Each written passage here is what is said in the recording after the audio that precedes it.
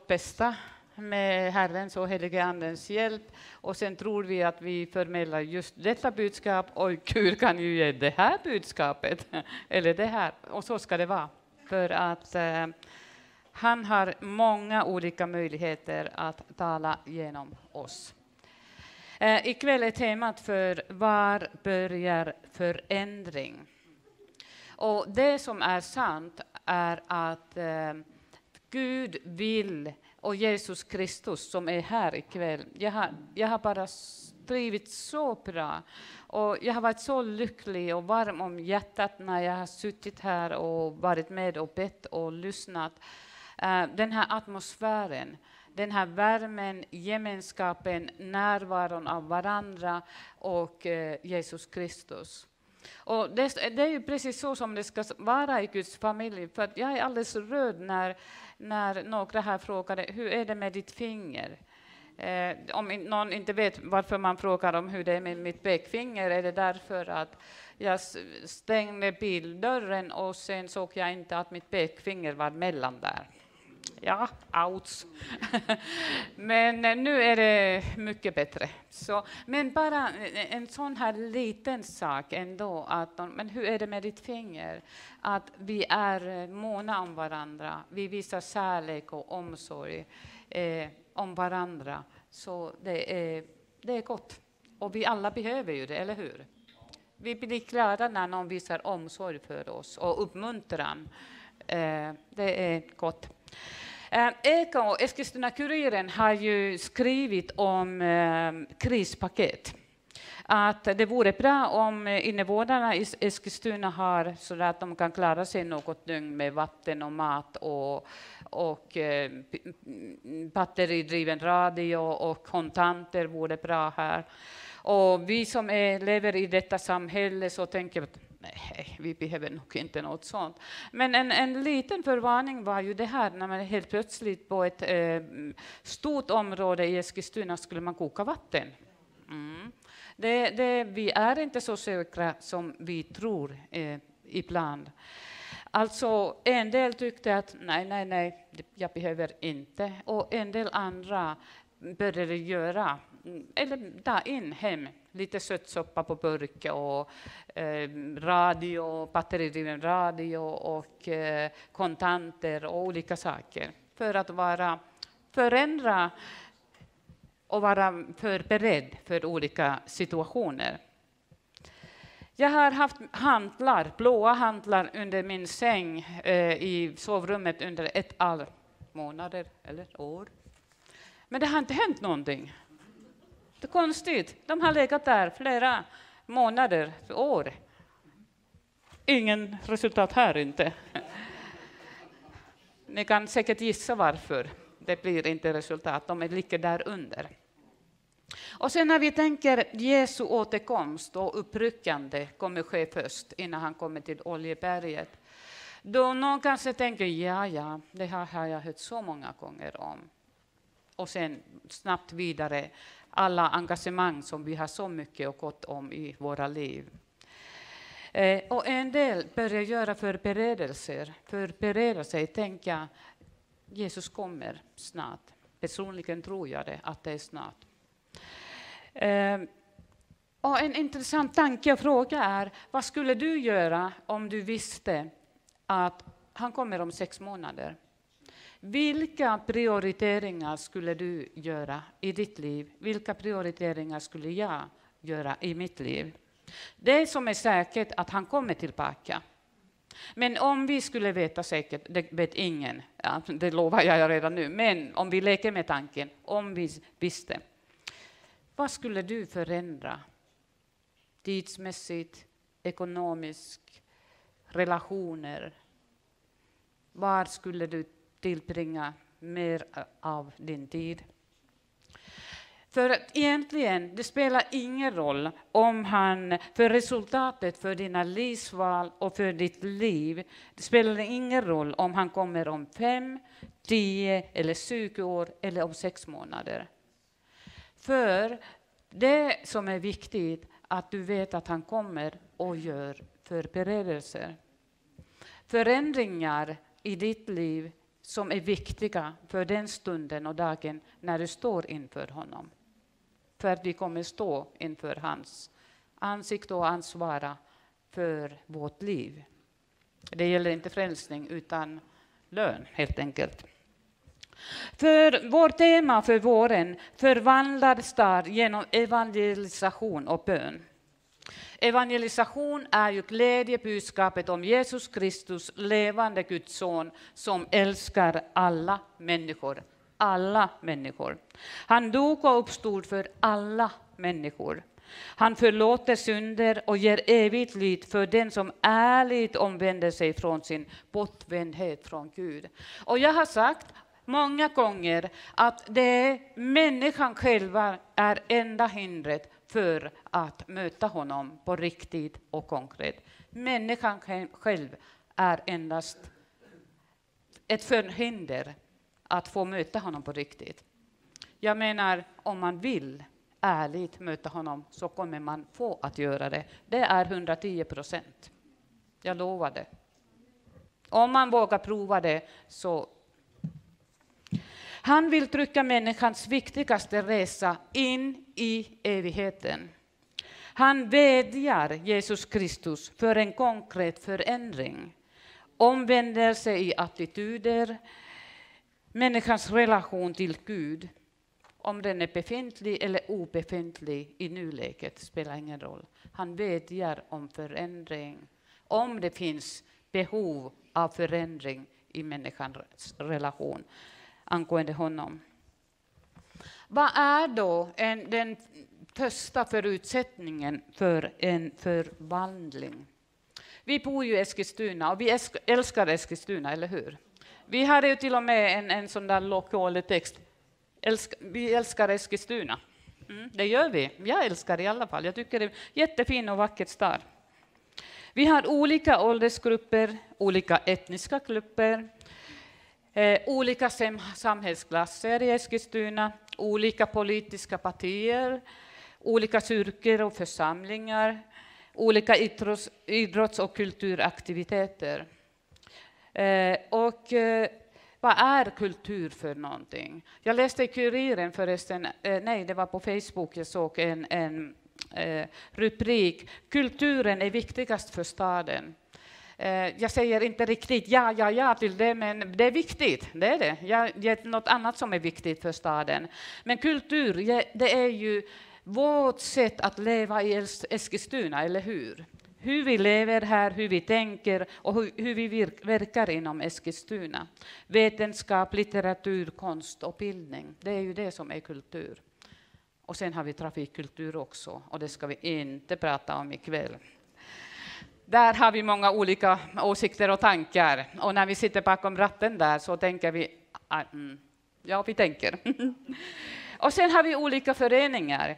Väldigt många olika ideologier, livsåskådningar, filosofier och religioner i den här staden. Glädje och lycka och nöjsamhet. Mycket av det också. Ensamhet, sorg, relationsproblem, sjukdomar, utanförskap. Tyvärr också finns i Eskilstuna.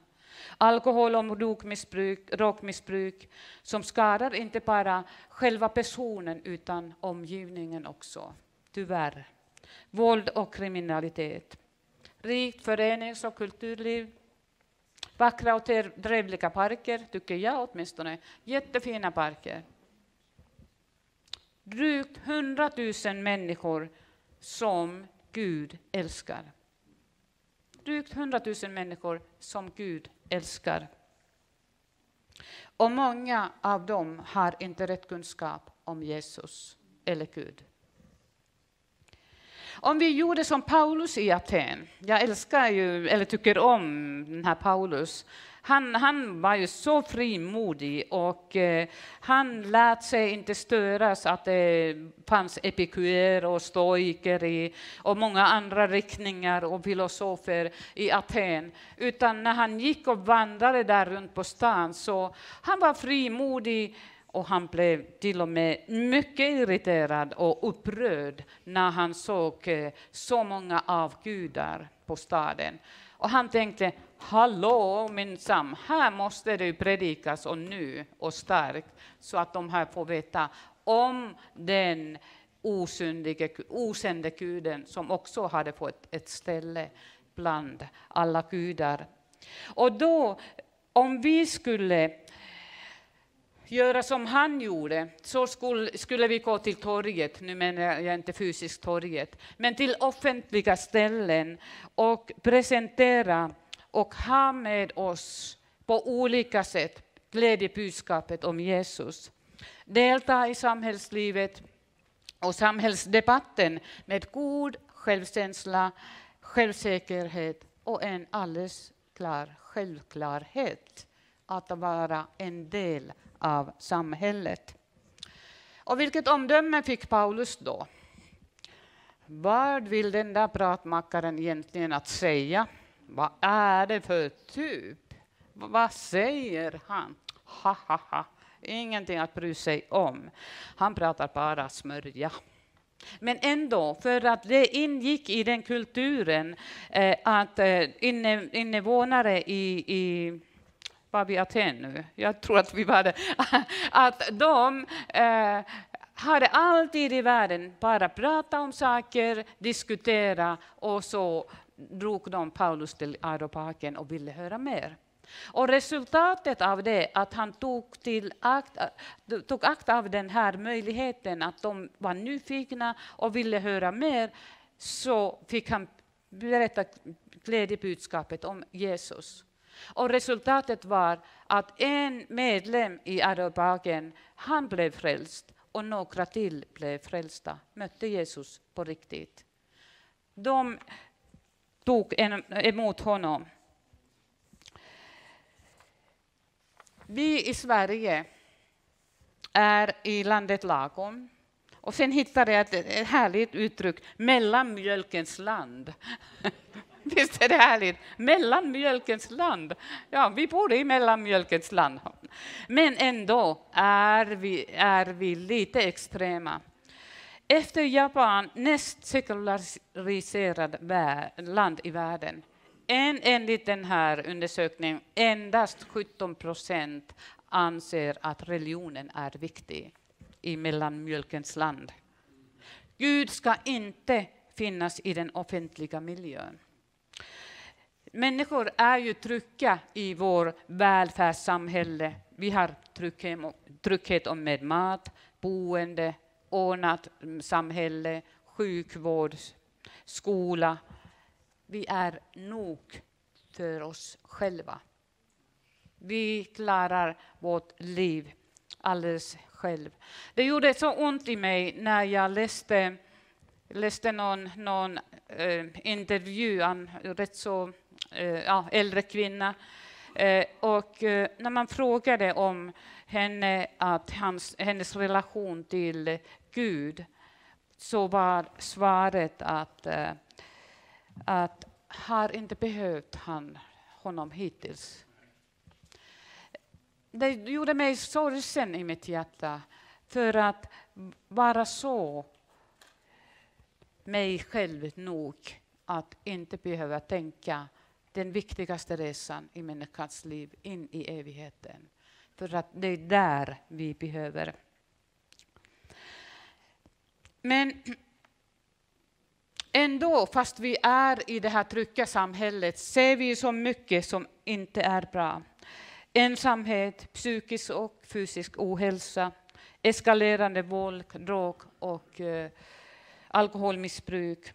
Och det stämmer ju inte att rikedom är lika med lycka. Vi har så många exempel om så kallade kändisar, rika människor som måste gå in i drogmissbruk, eh, alkoholmissbruk, självmord. Det är inte, pengar ger inte lycka. Fast även vi alla vet ju att det är bra att ha pengar, men tro att om jag har miljoner och miljoner, då är jag lycklig. Det stämmer inte. Alltid, givetvis. Det finns ju rik, lyckliga, rika människor också, men ni förstår vad jag tänker. Maktbegär, maktmissbruk, korruption, egenvinning. maktkamp i politiken på bekostnad av människor och deras behov av hjälp. Människan har inte kunnat ordna sitt eget paradis. Det verkar bli värre och värre. Men ändå, när det sker en kris eller stort trauma så går ju människorna till kyrkan. Då har man ett behov av någonting större än jag själv. Och Gud, det står i Bibeln att Gud har lagt evigheten i, våra, i vårt inre, i vårt hjärta. Och det finns ingenting här i hela världen som kan fylla den här tomheten. Det är många som försöker fylla det med, med shopping och en massa andra saker för att få bli lugnt och stilla här. Men det blir det inte utan Gud rop från den här tomheten som inte har fyllts av Guds närvaro i hjärtat. Vem bryr sig om mig? Vem älskar mig? Varför föddes jag? Vem kan ge mig någon mening med mitt liv, med livet? Jag är värdelös. Jag hatar mig själv. Mitt inre har gått sönder. Jag är osynlig. Mitt liv har ingen betydelse. Men ändå har vi som har mött Jesus, har vi mött eh, svar till den här ropen. Du är älskad och du är värdefull. Precis som du är. Och då är det ju viktigt när vi tänker vår som vi oss som är Jesu, Jesu Kristi följare och det uppdraget som han har gett till oss. Att vi verkligen förstår detta och det blir verkligen verkligt för oss. Vad är människans situation på Tellus? i den här världen, där vi vandrar alldeles få år och vi kan inte rymma någonstans för att hitta beskydd. Vi kan inte ta vingar och försvinna från jorden någonstans dit vi kanske skulle vilja. Eh, Romarbrevet 5 och 12 säger om människans situation. Därför är det så Genom en enda människa kom synden in i världen och genom synden döden. På så sätt nådde döden alla människor eftersom alla hade syndat. En enda människa, Adam, förde genom sin synd många människor till döden. Genom en enda människa, Jesus, som har sett till Jesus som har sett till att Gud i sin godhet förlät och benådade människorna.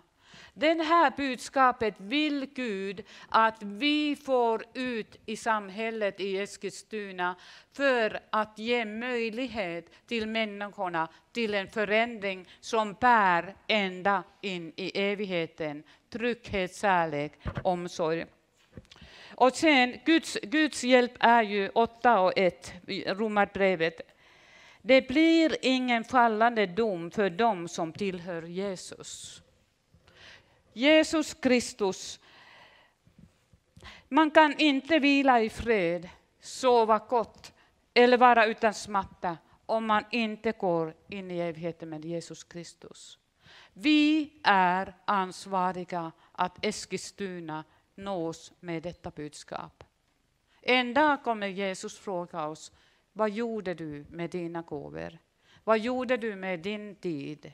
Gav du människorna som min son har dött för möjlighet att välja? Ingen ska tvingas på något, men på en öppen hand, här min kära vän, har du möjlighet att välja något gott för din evighet. Kunskap om evangeliet och om andevärlden. För att det finns det goda och det finns det onda.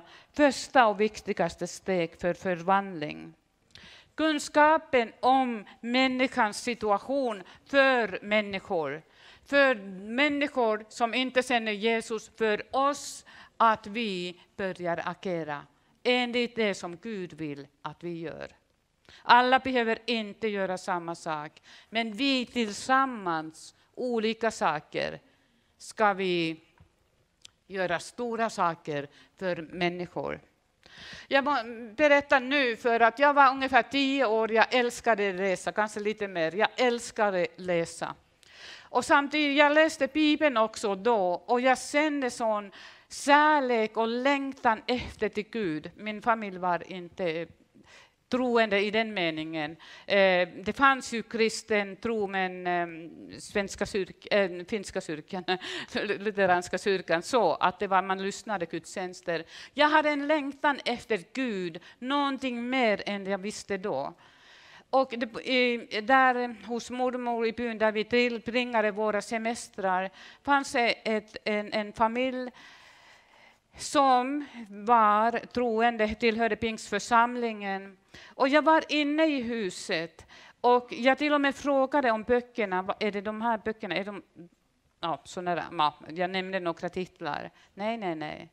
Efteråt visste jag att det var kristna böcker.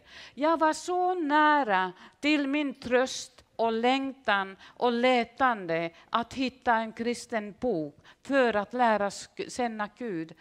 Inte det hemska som jag läste Gamla testamenten utan att fatta någonting, bara domar. Jag längtade efter Gud, men jag visste inte att de trodde på Jesus. De hade, visste mycket mer om Gud och hade kunnat berätta det för mig. Jag, inte på något sätt anklagar jag dem, men jag var en 10, 11, 12 år.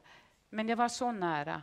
Det är viktigt att vi lyssnar in helige Andens ledning. Det kanske går en liten flicka bredvid oss, en pojke, en äldre dam, en äldre herre eller vem som helst. Och den helige Ande uppmanar, gå nära den här personen. Berätta om din Herre. Berätta för honom eller henne om Jesus.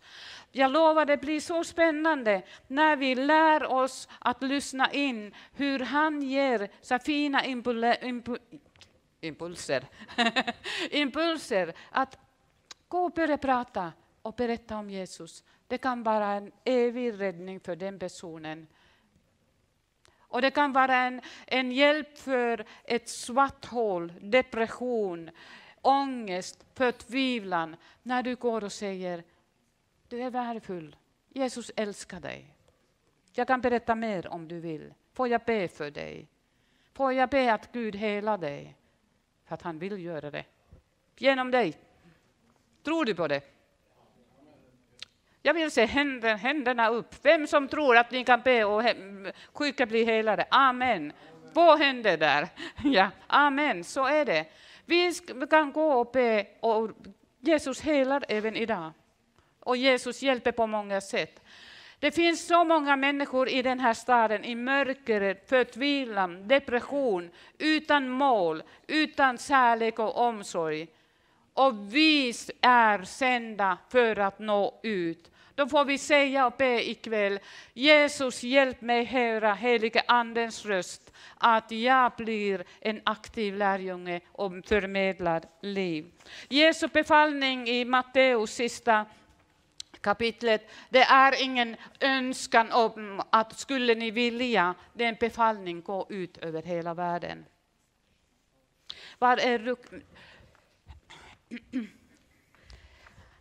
klockan? Vi tittar på Romarbrevet 12 och 2.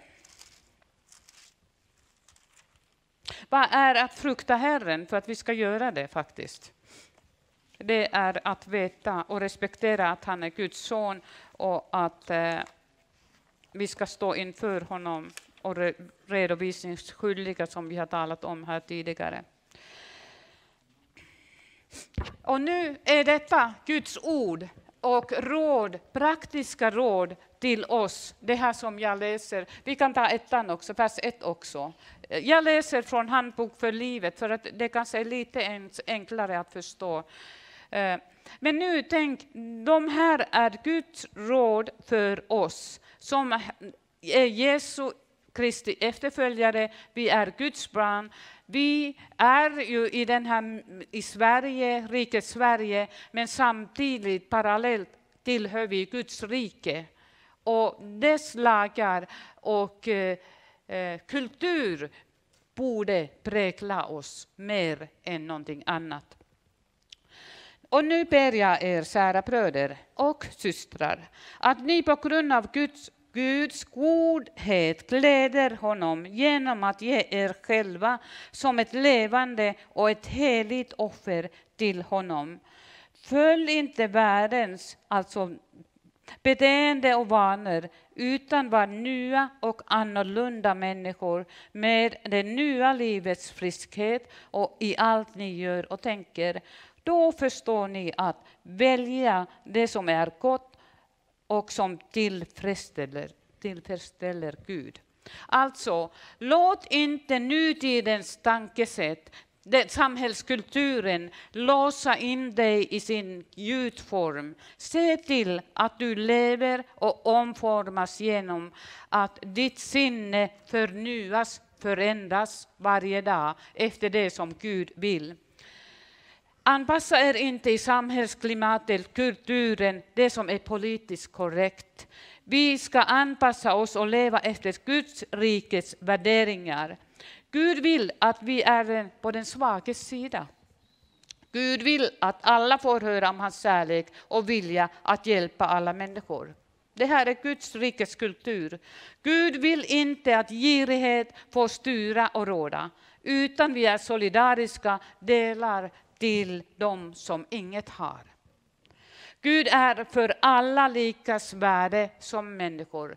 Man och kvinna, olika etniska bakgrunder, lika värda människor som Gud har skapat.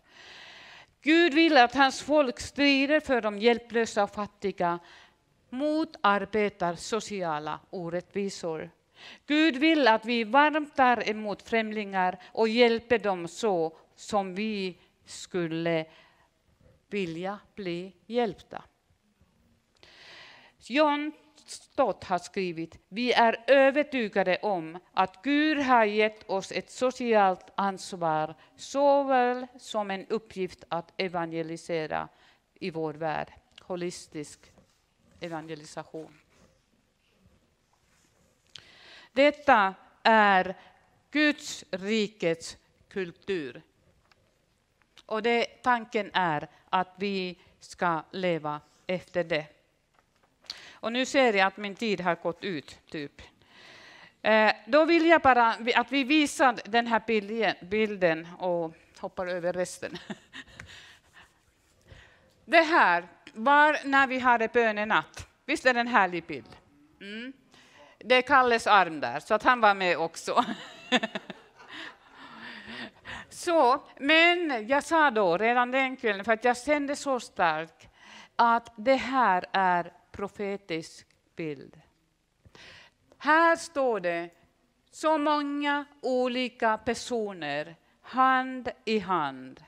Och när vi som tillhör Guds rike tillsammans, olika personer, hand i hand, uppmuntrande med omsorg och kärlek, arbetar för stadens bästa. Förändringen, den goda förändringen i staden blir det jättebra och gott. Amen. Du har lyssnat till en predikan i Pingstkyrkan i Eskilstuna. Om du vill höra den igen eller höra andra predikningar eller se, då finns vi på TV Eskilstuna och vi finns på Youtube där du hittar oss under eh, Pingstkyrkan Eskilstuna. Du kan också klicka på prenumeration om du vill veta när nya predikningar läggs ut. Alla är välkomna hit. Du är varmt välkommen att eh, kontakta oss eller besöka ett av våra möten eller kyrkan.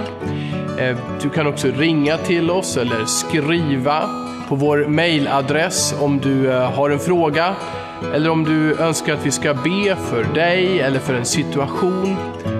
Det finns också mer information om oss och våra möten, aktiviteter för alla olika åldrar på vår hemsida och även på vår Facebookgrupp. Jag önskar dig allt gott och Guds välsignelse.